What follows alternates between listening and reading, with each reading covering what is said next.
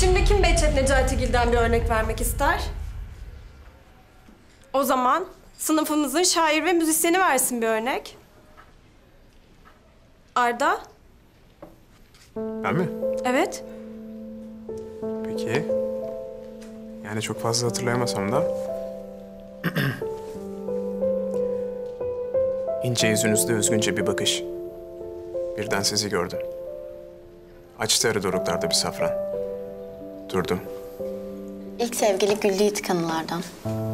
Mutsuz, yalnız. Sessiz kınamanızı utançlarda küçülmüş.